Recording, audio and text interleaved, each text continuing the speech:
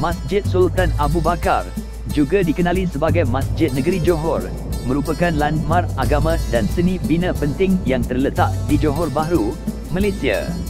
Dinamakan sebenar Sultan Abu Bakar, masjid ini mempunyai pentingan sejarah dan budaya di kawasan tersebut. Berikut adalah sejarah ringkas masjid ini. Pembinaan Masjid Sultan Abu Bakar bermula pada tahun 1892 dan selesai pada tahun 1900. Ia dibina atas arahan Sultan Abu Bakar, Sultan Johor pada masa itu, yang ingin mencipta sebuah masjid besar dan megah sebagai simbol keagungan Islam di negeri ini. Gaya seni bina, masjid ini direka oleh Tuan Haji Mohamed Arif Ben Puna, seorang arkitek kerajaan dari Singapura. Gaya seni bina masjid ini merupakan gabungan antara gaya Victorian dan Moorish, memaparkan perpaduan unik elemen seni bina barat dan Islam. Reka bentuk masjid ini dicirikan dengan menara masjid, kubah berbentuk bawang dan hiasan yang rumit. Kepentingan Masjid Sultan Abu Bakar mempunyai kepentingan yang besar bagi rakyat Johor dan Malaysia secara keseluruhannya. Ia melambangkan warisan Islam Johor dan tradisi keagamaan yang mendalam di kawasan ini. Masjid ini telah menjadi tempat ibadah dan pusat aktiviti keagamaan selama lebih daripada satu abad, menjadi pusat spiritual bagi komuniti Muslim di Johor. Masjid ini mempunyai empat menara yang setinggi kira-kira 60 meter dan sebuah kubah pusat yang meliputi 21 meter dalam diameter. Dewan Solat Utama dapat menampung sehingga 2,000 jemaah dan dihiasi dengan kaligrafi indah dan corak geometri yang rumit. Dalaman masjid dihiasi dengan marmar Itali yang diimpor dan jubin Inggeris, menambah keagungan masjid ini. Seiring berjalannya masa, masjid ini telah menjalani beberapa projek pemuliharaan untuk memelihara integriti seni bina dan nilai sejarahnya. Pemuliharaan yang paling ketara berlaku pada tahun 1980N yang melibatkan pembaikan dan pemuliharaan fasad, dalaman dan menara masjid. Masjid Sultan Abu Bakar telah menjadi tarikan pelancong yang popular di Johor Bahru berkat keindahan seni bina dan kepentingan sejarahnya. Pengunjung dibenarkan memasuki masjid dengan pakaian yang sesuai dan berkelakuan yang hormat. Suasana yang tenang, seni bina yang menakjubkan dan pemandangan panorama dari masjid menjadikannya destinasi menarik untuk penduduk tempatan dan pelancong.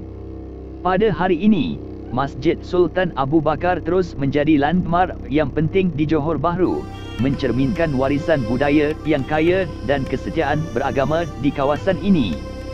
Ia menjadi bukti visi Sultan Abu Bakar dan berfungsi sebagai tempat ibadah, keajaiban seni bina dan ikon budaya.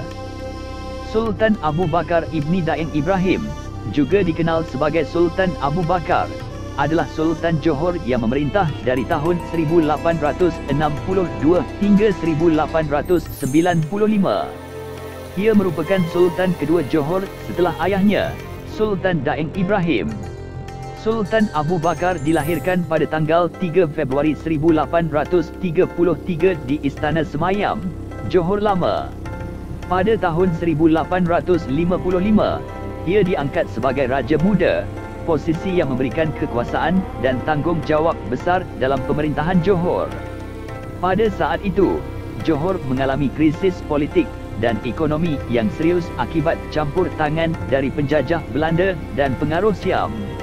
Sultan Abu Bakar terlibat dalam usaha untuk memulihkan kestabilan dan kekuasaan Johor pada tahun 1862 setelah kematian ayahnya Sultan Abu Bakar naik tahta menjadi Sultan Johor yang baru. Ia segera mengambil langkah-langkah untuk membangun kembali pemerintahan dan ekonomi Johor. Salah satu prestasi terbesarnya adalah pembangunan istana besar Johor di Johor Bahru yang dianggap sebagai salah satu bangunan bersejarah penting di negara ini. Selama masa pemerintahannya Sultan Abu Bakar memperkuat posisi Johor sebagai negara merdeka dan mengurangi campur tangan asing di wilayah tersebut. Ia menjalin hubungan dengan Britania Raya dan menandatangani perjanjian Inggeris Johor pada tahun 1885 yang memberikan perlindungan terhadap Johor dari ancaman kolonialisasi oleh kekuatan asing lainnya. Sultan Abu Bakar juga mendorong modernisasi dan pembangunan ekonomi Johor dengan memperkenalkan perkebunan karet, perkebunan kelapa sawit dan industri lainnya. Selain itu, Sultan Abu Bakar dikenal sebagai seorang pemimpin yang progresif dan memperkenalkan banyak reformasi dalam pemerintahan Johor. Ia mendirikan sistem pendidikan formal pertama di Johor, membuka sekolah-sekolah dan mengirim para pelajar ke luar negeri untuk belajar.